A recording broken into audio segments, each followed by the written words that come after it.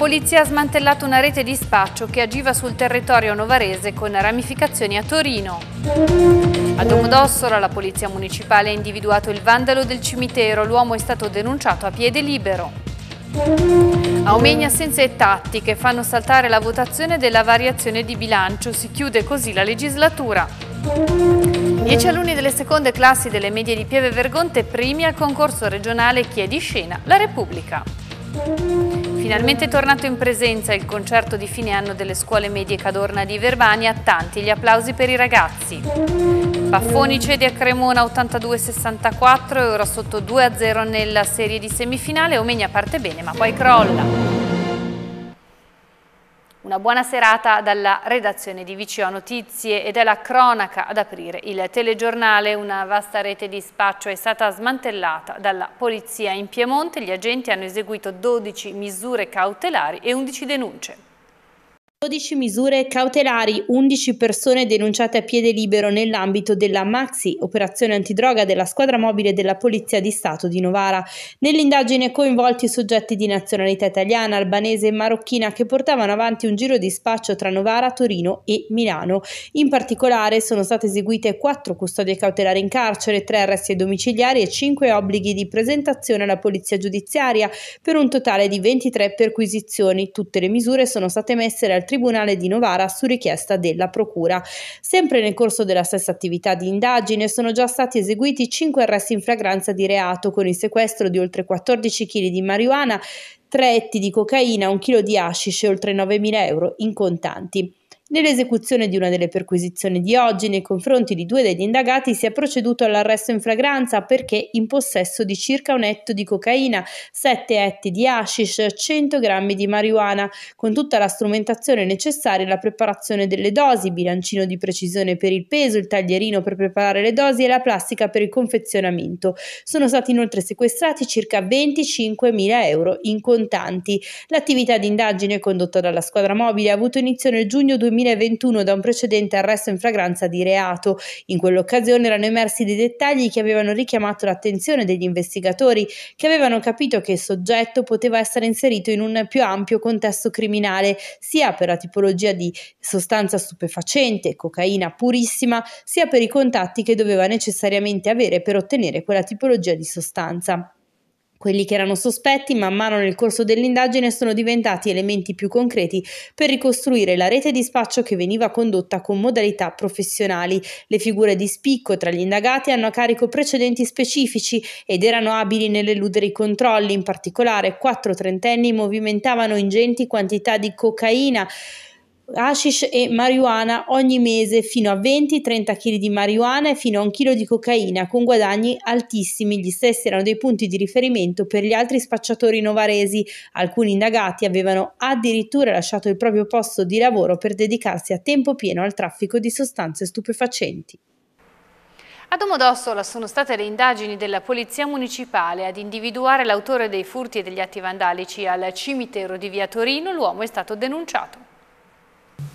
Dovrà rispondere di porto senza giustificato motivo di strumenti da appunto e taglio atti ad offendere, furto aggravato, danneggiamento e vilipendio di tombe. L'uomo sorpreso nella notte fra il 16 e il 17 maggio all'interno dell'area cimiteriale a Domodossola. Lo hanno scoperto gli agenti della Polizia Municipale della città nell'ambito delle indagini sui diversi danneggiamenti registrati negli ultimi mesi all'interno del Camposanto Domese. Il monitoraggio dell'area infatti andava avanti da tempo. Due settimane fa, attorno a luna di notte, è scattato il blitz all'interno del cimitero cimitero e la conseguente denuncia a piede libero. L'uomo è stato localizzato nell'area nord del Camposanto. Addosso gli sono stati rinvenuti due coltelli e un taglierino e ancora una torcia e diversi arredi cimiteriali. Sono stati rinvenuti anche oggetti che possono essere ricollegati a pratiche esoteriche, spiegano dal comando della polizia locale domese. Circostanze che hanno indotto gli agenti a far scattare anche la perquisizione dell'abitazione dell'uomo. Anche qui rinvenuto materiale riconducibile ai furti al cimitero. L'attività investigativa degli agenti domesi ha preso avvio dopo che numerosi i cittadini hanno sporto denuncia per danneggiamenti e furti ad arredi funebri. Nel corso di appostamenti e sopralluoghi gli agenti hanno rinvenuto parte degli oggetti rubati lungo il muro di cinta del cimitero di Via Torino, sul lato sud. Mancano ormai dieci giorni alle elezioni di Omegna, il clima politico-amministrativo diventa rovente, si è chiuso all'insegna della polemica l'ultimo consiglio comunale della legislatura e l'Assemblea non ha approvato la variazione di bilancio all'ordine del giorno. È saltata la variazione di bilancio in Consiglio Comunale che sarebbe stata di fatto l'ultima operazione dell'amministrazione Marchioni, una variazione di 86.000 euro, 20.000 per iniziative legate al turismo da spendere entro giugno, 40.000 come contributo a diverse società sportive e associazioni e 18.000 euro per il progetto legato all'iter per la candidatura UNESCO di Omegna per la sua storia nel casalingo. Mi spiace questa mancata ratifica di una delibera di giunta è frutto della miopia della minoranza e di chi non sostiene più l'attuale maggioranza. Ognuno si assuma le proprie responsabilità, si sappia che essere penalizzate sono società sportive che aspettavano questi contributi per sistemare le loro strutture e per la loro attività sociale. La contestazione sui soldi spesi per il decoro urbano con aiuole e fiori e con i primi eventi organizzati è assurda. A giugno qualsiasi città si deve rifare il look per l'arrivo dei turisti, indipendentemente dalle elezioni, la presa di posizione del sindaco Marchioni. Il Consiglio Comunale, replicano i consiglieri di Omegna Sicambia, Lucia Camera e Mauro Empolesi, ha fermato alcuni atti e in particolare una variazione di bilancio che distribuiva soldi ad alcune realtà come fossero una mancia elettorale e che avrebbe consentito a qualche assessore, uno in particolare, di poter organizzare attività ed eventi con evidente scopo propagandistico, tutto questo a dieci giorni dalle elezioni. Le campagne elettorali non si pagano con i soldi dei cittadini, la conclusione di due consiglieri, stessa lunghezza d'onda per il PD, la variazione di ieri per fortuna saltata grazie anche al voto responsabile anche degli ex consiglieri di maggioranza e del presidente del consiglio comunale Tiziano Buzzo, spiega Alessandro Rondinelli, era un'azione a gamba tesa, figlia del peggior opportunismo elettorale che solo un vecchio volpone della politica poteva compiere così spudoratamente. E a proposito di elezioni, presentata nei giorni scorsi la lista di Forza Italia Omegna, la compagine è al fianco di Paolo Marchioni che il 12 giugno si ripresenta al giudizio degli elettori. Forza Italia a sostegno della candidatura di Paolo Marchioni ha presentato nei giorni scorsi al forum di Omegna la lista dei candidati alle prossime elezioni. I candidati, le parole dei vertici di Forza Italia, ben rappresentano tutti i diversi volti della comunità omegnese. Si tratta di professionisti, imprenditori, commercianti, studenti, pensionati che con entusiasmo hanno deciso di impegnarsi in prima persona per il futuro della loro città, mettendo a disposizione le diverse competenze. Alcuni di loro vantano esperienze amministrative amministrative pregresse, altri per la prima volta affrontano il verdetto delle urne. I punti fermi del programma elettorale sono lo sviluppo turistico della città partendo dal master plan con la realizzazione delle opere pubbliche individuate, il rifacimento di Lungolago Buozzi e dell'area dei giardini.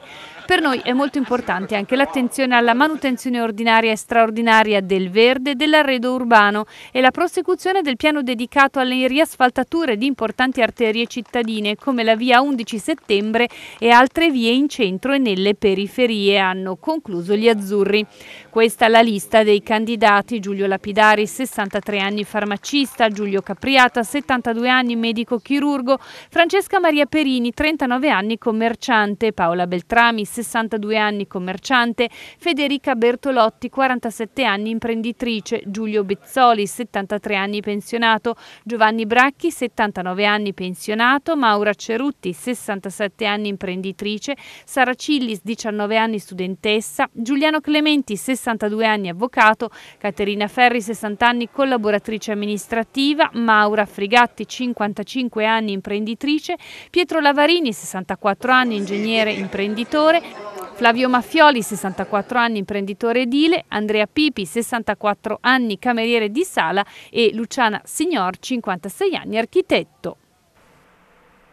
Cambiamo argomento, si sono classificati primi ex equo con le medie di San Maurizio d'Opaglio i dieci ragazzi delle classi seconde delle medie di Pieve Vergonte nell'ambito del concorso regionale dal titolo Chi è di scena? La Repubblica. Hanno presentato un video che racconta la battaglia di Megolo, tutto è nato da un'idea della professoressa Giovanna Noli, insegnante di matematica. Una gita fuori porta a Torino per ritirare un attestato che è un riconoscimento a un lavoro scolastico. Di cosa si tratta? Allora, eh, in pratica abbiamo realizzato un video. Il titolo del nostro video è Anche a Megolo si è costruita la Repubblica.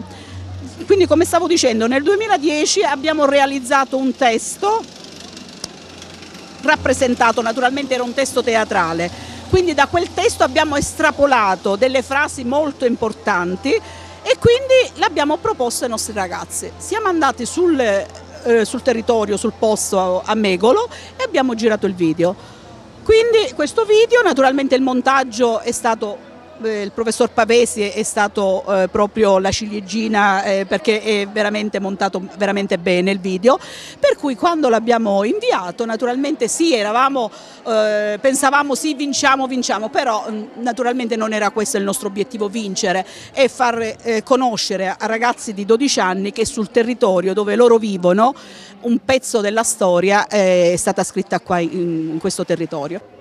Un riconoscimento a questi studenti della scuola media dell'Istituto Bagnolini di Pieve Vergonte eh, che parte eh, da un lavoro sulla storia locale. Quanto è importante?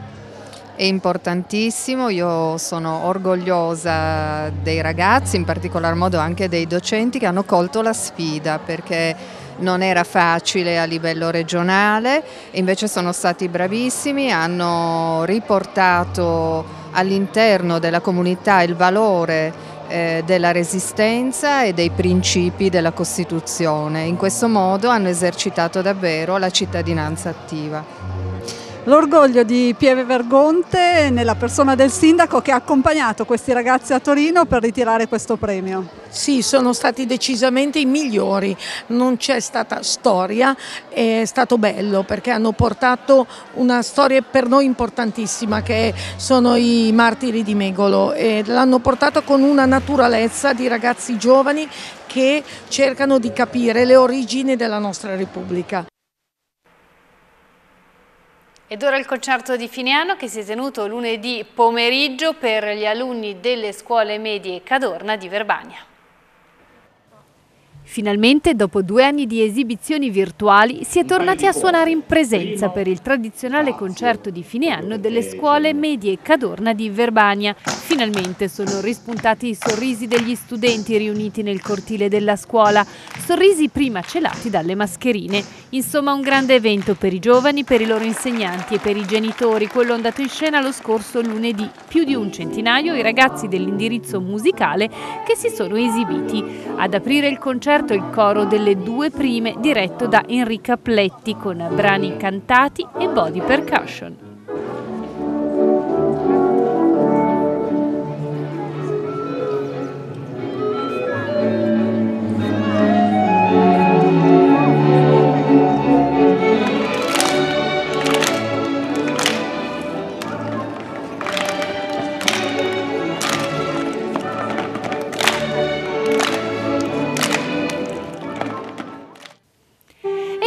Quindi la volta dei diversi ensemble. L'orchestra d'archi con le due seconde e le due terze dirette dal maestro Pierangelo Morganti ha proposto un repertorio legato alla musica classica con brani di Mozart, Beethoven ma anche alcuni pezzi originali. Quindi le orchestre di fiati e di percussioni di seconda e di terza dirette dal maestro Davide Merlino che hanno eseguito musiche originali per banda. Abbiamo proposto un concerto lungo e per certi versi liberatorio, ha spiegato Merlino. C'era la voglia di tornare a esibirsi condivisa da tutti. Il bel tempo e la possibilità di esibirsi in cortile, ha concluso, ci hanno consentito di non avere limiti di pubblico.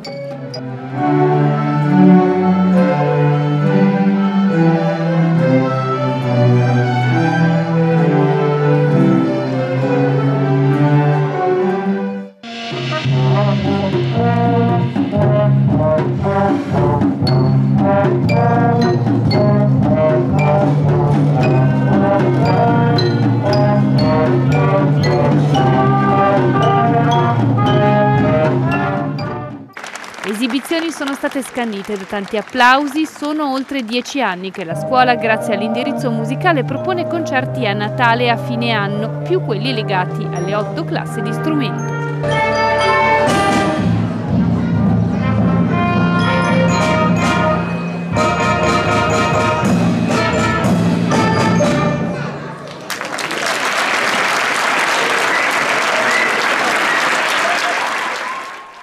Domodossola fino a domenica 5 giugno l'Artoteca di Se propone la mostra dal titolo Always Hungry, evento dedicato all'illustratore Marco Goran Romano. L'illustratore pugliese è stato inserito tra i 10 migliori giovani designer secondo il settimanale americano Adweek e nella lista dei 20 under 30 New Visual Artist stilata da Print Magazine.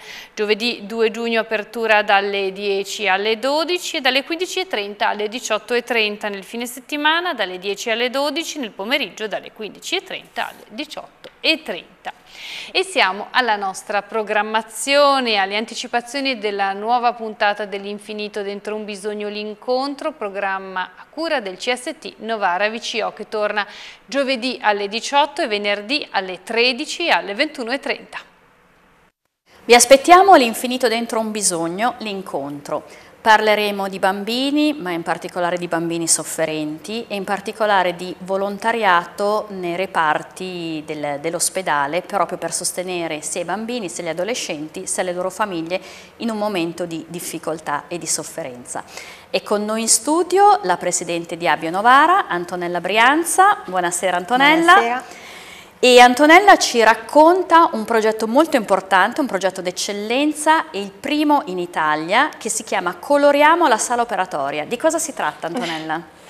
È un'idea proprio innovativa, il progetto è appena stato realizzato in pediatria, consiste nell'accogliere i bambini e la loro mamma eh, all'interno della sala operatoria, quindi è un, un progetto di preparazione all'intervento chirurgico attraverso il mondo delle storie e attraverso i colori e la fantasia.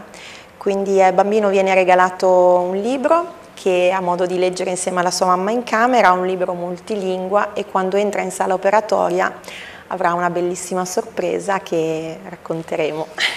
Quindi non potete mancare alla puntata dell'infinito dentro un bisogno in cui vi saranno illustrati questo e gli altri progetti di Abio Novara. Vi aspettiamo.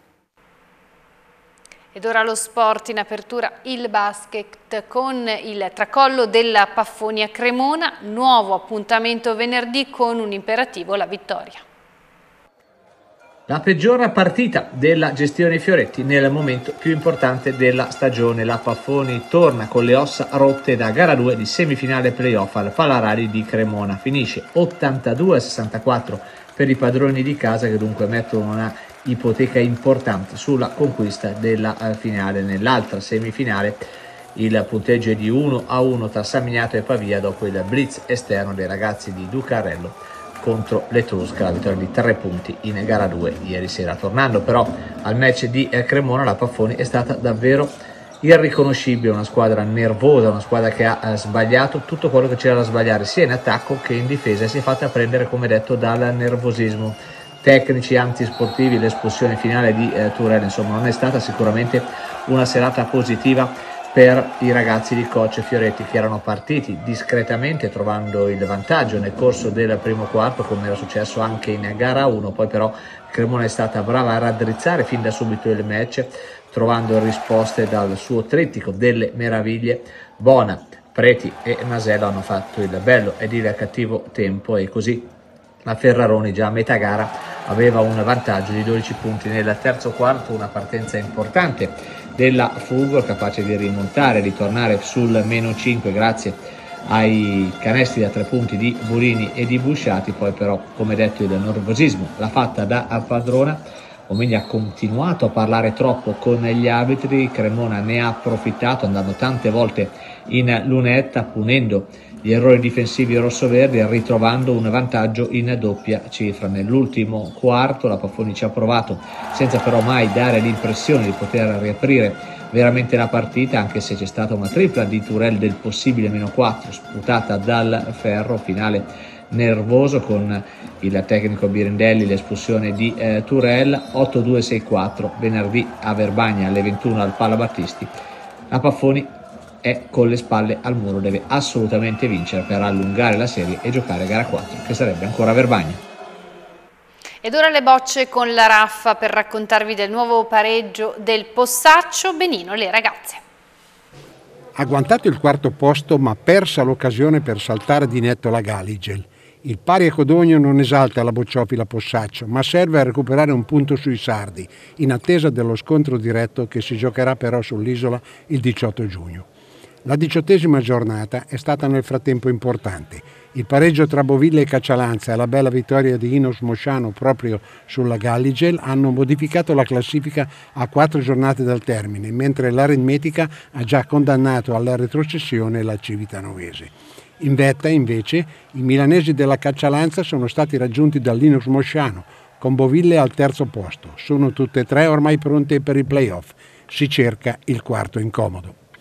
A Codogno il possaccio del presidente Mazzolini ha messo in evidenza la buona forma di Roberto Signorini, reduce da un eclatante primo posto a Roma nella gara Major, un individuale nazionale di alto livello, in cui ha battuto tra gli altri in semifinale Luca Viscusi ed in finale per 10 a 4 il giovane Alessio Frongia della Galligel.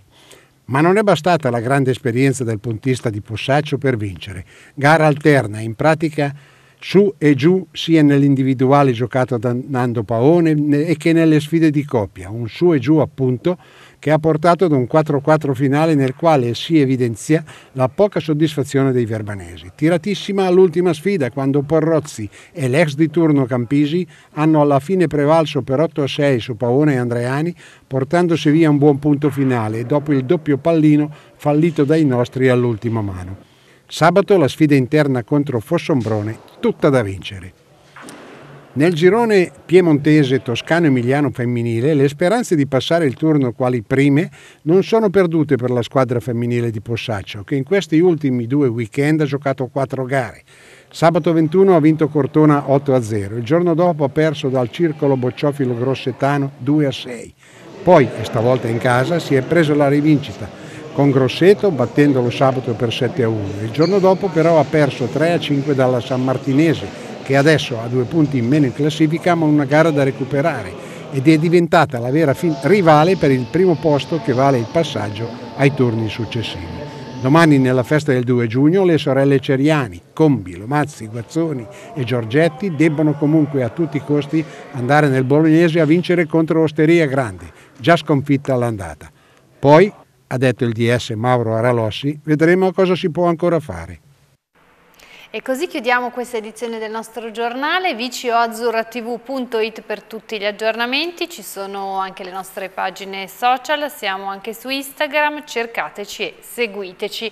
È tutto per questa edizione quindi, grazie per essere stati con noi, buona continuazione di serata.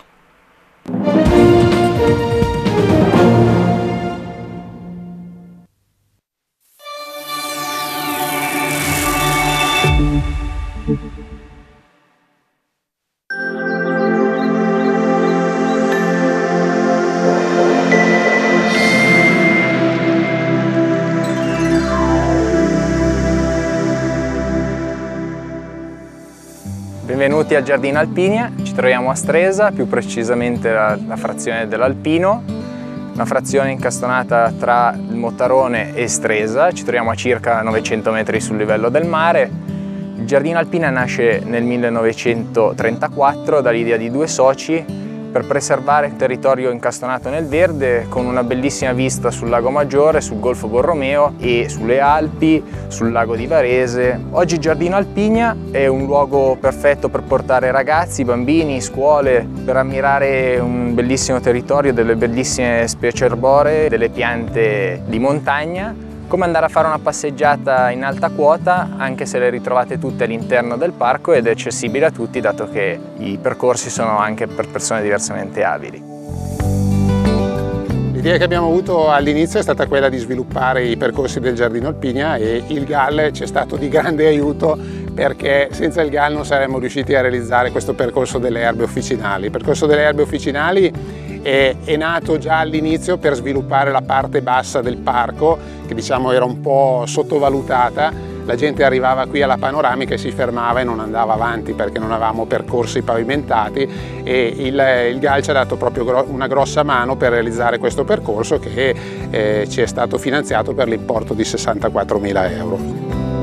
Abbiamo prestato particolare attenzione ai disabili perché già nel vecchio percorso che avevamo realizzato nel 2014 abbiamo dato priorità alle persone diversamente abili e quindi anche nella realizzazione di questo percorso abbiamo tenuto conto di questo, quindi tutti possono accedere a questo percorso anche le persone diversamente abili. Per il futuro sicuramente eh, speriamo di, eh, avviare una, di continuare in questa collaborazione con il GAL proprio perché, eh, ripeto, il GAL ci ha dato una grossa mano e senza il GAL non avremmo realizzato questo percorso. Eh, l'idea è quella di andare avanti e di fare ulteriori percorsi e cercare di sviluppare dei tematismi all'interno del parco.